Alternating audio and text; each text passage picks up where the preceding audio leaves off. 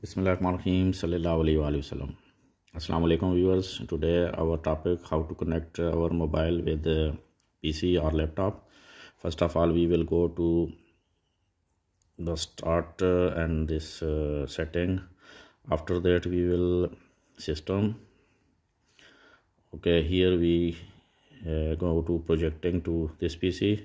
Here there is no option, so we go to optional feature first time we are going to to be add here from here. So we will find uh, from here our uh, screen.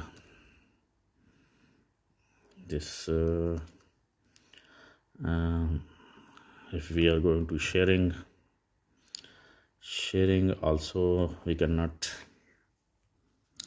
Okay viewers here uh, we uh, wireless